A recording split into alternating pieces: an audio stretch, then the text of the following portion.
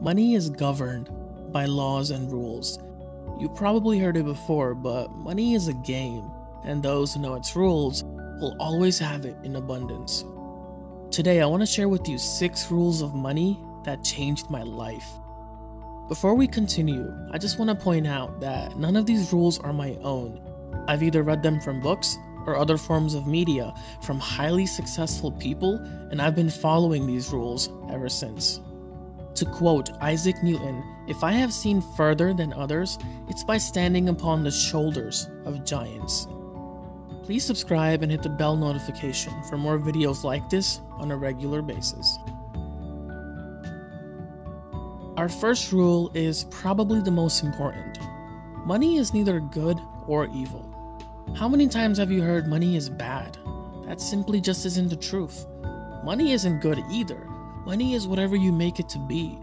If you're a good person, then you will use that money for good things. If you're a bad person, then you will use that money for bad things.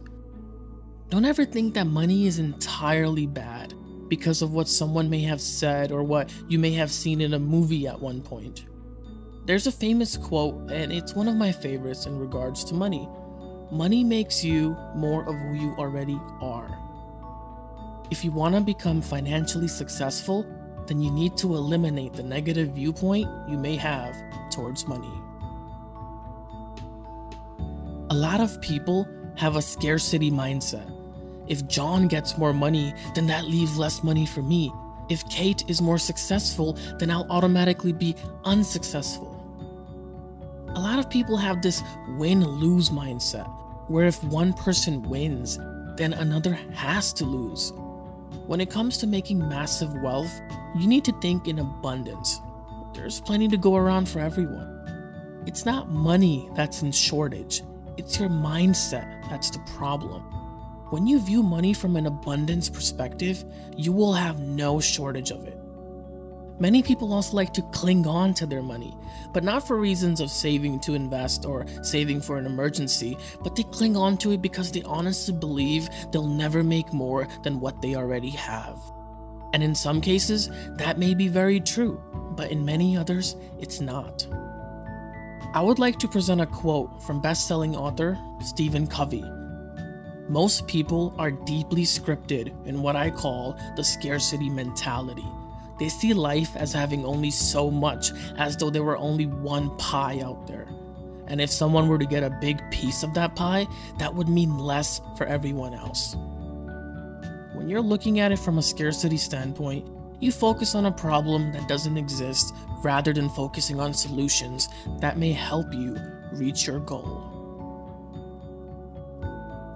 What would happen if you start to ignore your partner in a relationship?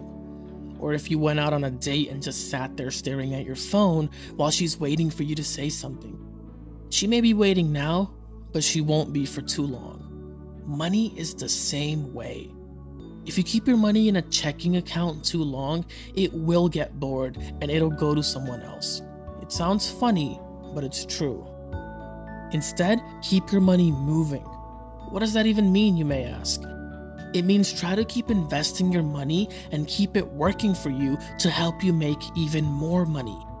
It's okay to have money set aside as an emergency fund or a retirement fund. Matter of fact, you should, and you should have that money in a high yield savings account, but that's the only exception. I know some people who brag about how much money they have in the bank, but that doesn't mean anything if it's just sitting there and rotting. What's more impressive is if you take that capital and multiply it. To quote one of my favorite authors and entrepreneur, Grant Cardone, money is like paper it's only good when it's used. Don't let your money get bored. Make calculated moves and get your money to work. How many times have you heard someone say, Gosh, if I had a million dollars, I'd never work a day in my life again? Well, I suppose that's why you don't have a million dollars. Now, is it possible to make a million dollars and never work again? Absolutely. Is it probable? Probably not, and here's why. If you're self made and worked from scratch to get a million dollars, it would probably be very difficult for you to just quit and do nothing. Because by now, you probably understand that it's not about reaching the mountaintop, but staying there. If you started from the bottom and worked really hard to make your first million, then it's very likely that you rewired your brain. You would have had to change your bad habits and adopt new and positive ones to get to where you are. You probably understand the value of giving just as much as receiving. Once you make that shift in life, it's really difficult to just drop whatever you did to reach that level and to spread that value to the world, which made you your millions in the first place, to just quit everything and go relax on a beach somewhere. To quote Jim Rohn, you don't get what you want, you get what you deserve. I understand many of us grew up being told that we shouldn't desire money we were told we should be happy with what we have, and if we think even a little bit about more, then it'll make us selfish. I have a friend who always tells me I work too hard, that I'm not satisfied with what I have, and it's not like money is gonna go with me after I die. Of course not. Nobody thinks money will go with them after they die. That's not why people earn money. I earn money because I want to support my family and help the world any way I can. I think that's a bit difficult to do without money. I'm also not saying you shouldn't be satisfied, because satisfied is subjective. What satisfaction means to you is probably going to mean something different to someone else. Don't feel guilty about how big your financial dreams and goals are. Nobody can understand you more than you, and that's okay. If you can't handle $1,000, there's a pretty good chance you won't be able to handle $10,000. What do I mean by handle? I'm talking about making wise choices with your money.